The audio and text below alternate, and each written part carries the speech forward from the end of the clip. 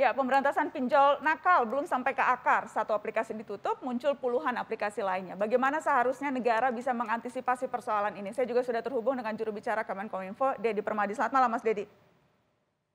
Selamat malam, Mbak Nana. Terima kasih Mas Dedi sudah bergabung di Mata Najwa. Saya ingin mencoba lagi Pak Tongam, mudah-mudahan uh, sambungannya sudah uh, lebih jelas sekarang. Pak Tongam? Baik, kalau begitu saya ke Mbak Jenny dulu sambil menunggu uh, saluran yang lebih jelas.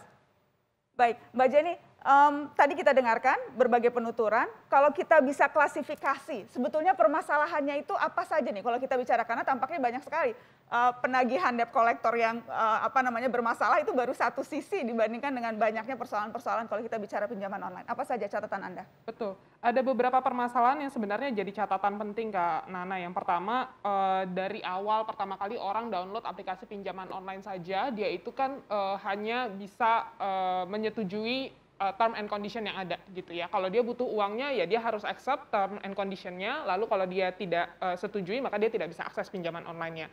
Problemnya adalah di term and condition dia tidak punya posisi yang setara untuk bisa menentukan mana term yang saya setujui, mana term yang tidak saya setujui. Jadi permasalahan pertama sebenarnya adalah tidak adanya kedudukan yang setara pembuatan perjanjian pinjam meminjam dengan hanya berdasarkan pada perjanjian elektronik. Oke. Okay. Lalu kemudian ada pengambilan dan pengumpulan data pribadi tanpa batasan. Hmm. Itu juga terjadi pada banyak aplikasi pinjaman online terdaftar. Uh, saya pikir narasi juga uh, melakukan peliputan sebulan yang lalu terkait dengan hal tersebut.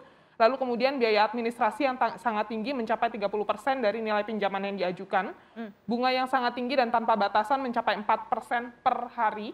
Lalu kemudian ada penagihan yang dilakukan dengan berbagai-bagai tindak pidana seperti pengancaman, penipuan, penyebaran data pribadi, uh, fitnah bahkan sampai kepada pelecehan seksual. Hmm. Lalu kemudian juga tidak ada proses penyelesaian masalah dan penjatuhan sanksi yang layak jika konsumen mengadukan permasalahan terkait kepada lembaga negara bahkan. Seperti yang tadi misalnya respon polisi kemudian eh, dikatakan ya kan harus utang, harus dibayar begitu ya? Betul. Bahkan e, ketika mengadu ke OJK pun responnya juga nggak layak menurut teman-teman korban.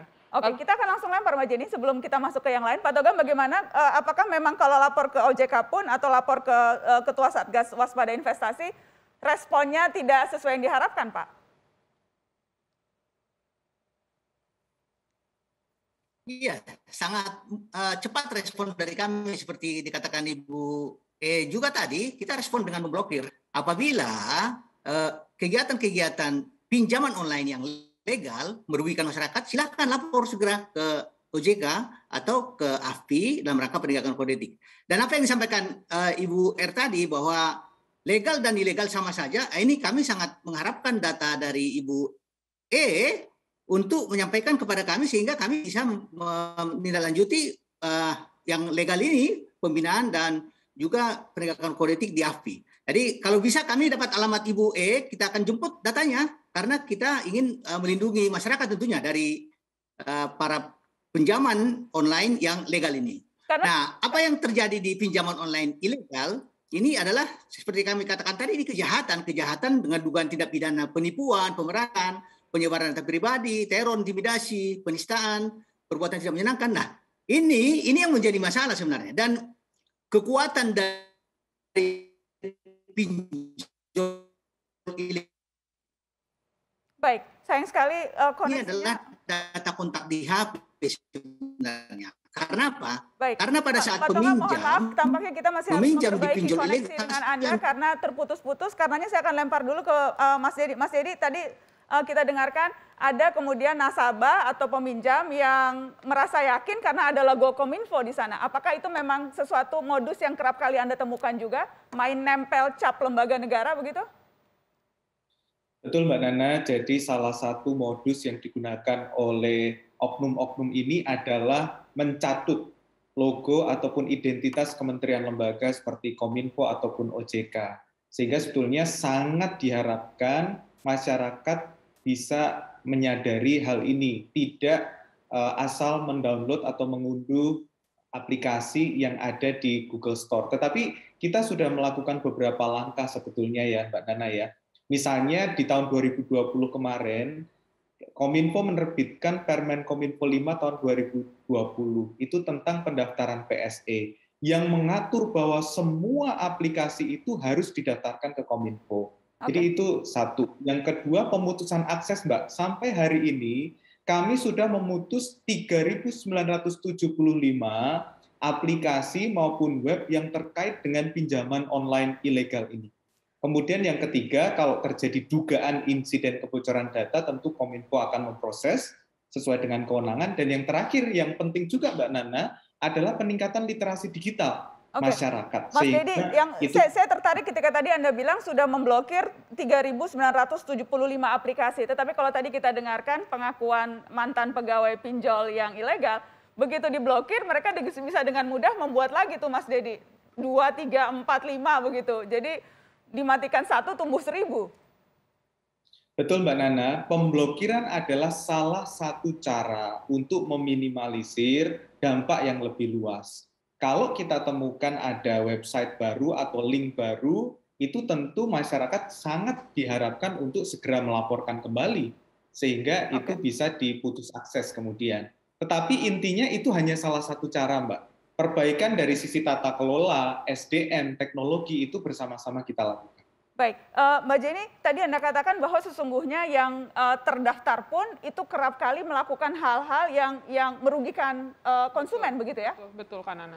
Apa, apa yang tadi Anda sebutkan bahwa ter, seharusnya kan saya tahu ada peraturan yang bisa diakses oleh pinjol itu hanya uh, kalau di handphone camilan begitu ya. Jadi kamera, mikrofon, uh, sama akses kalau saya uh, apa namanya akses terhadap kamera, kamera mikrofon, mikrofon dan lokasi. Lokasi uh, sama IMEI juga bisa diakses. Oke, okay, tapi dalam prakteknya yang Anda temukan itu bahkan di luar dari itu pun bisa diakses. Yang pertama, aturan camilan IMEI itu adalah uh, berdasarkan pada Court of Conduct-nya OJK kan anak. Jadi, eh sorry, Court of Conduct-nya AFPI. Jadi bukan aturan dari lembaga negara. Itu yang pertama. Jadi ini kode etik asosiasi. Betul uh, yang mana isi, asosiasi adalah mereka pengusaha-pengusaha pinjaman online juga. Itu yang pertama. Yang kedua, yang kami temukan ternyata yang diakses bukan cuma camilan dan IMEI gitu ya. Uh, kalau uh, lihat di per, uh, permission dari aplikasi pinjaman online terdaftar itu jelas kok, bukan cuma itu aja gitu. Yang diakses bisa apa aja, akses penuh terhadap seluruh jaringan internet. Buat apa? Dalam mekanisme pinjam meminjam, akses penuh terhadap flashlight. Untuk apa? Akses penuh terhadap data yang masuk baik itu lewat email maupun lewat mekanisme uh, chat uh, aplikasi chat lainnya. Buat apa dalam aplikasi pinjam meminjam? Apa dan, korelasinya? Dan itu terjadi. Dan ini yang membuat semakin rentan para peminjam. Betul, itu yang membuat uh, semakin rentan para peminjam dan semakin rentan juga orang-orang yang uh, kontaknya ada pada gawai si peminjam seperti tadi misalnya Mbak Nafa gitu. Itu kan juga terjadi gitu ya karena akses penuh terhadap gawai kita itu gitu. Okay. Dan itu terjadi di aplikasi pinjaman online terdaftar juga kan Nana. Nanti bisa dicek begitu ya di permissionnya. Oke, okay, baik. Uh, dan termasuk juga tadi saya tahu tadi Pak Togam ingin meminta mana nih aplikasi yang legal atau yang terdaftar, tapi cara-cara penagihannya juga tidak beradab. Nanti kita akan uh, bahas itu juga setelah pariwara. Tetap di Mata Najwa, kami kembali sesaat lagi.